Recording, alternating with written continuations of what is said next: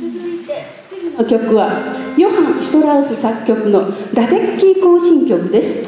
ラデッキーとは北イタリアの独立運動を鎮圧したオーストリアのヨーゼフ・ラデッキー将軍の名前でその将軍の功績をたたえるために作曲されました。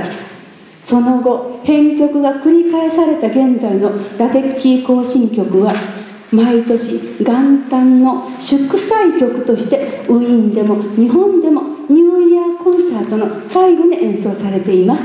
どうぞお聴きください。はい。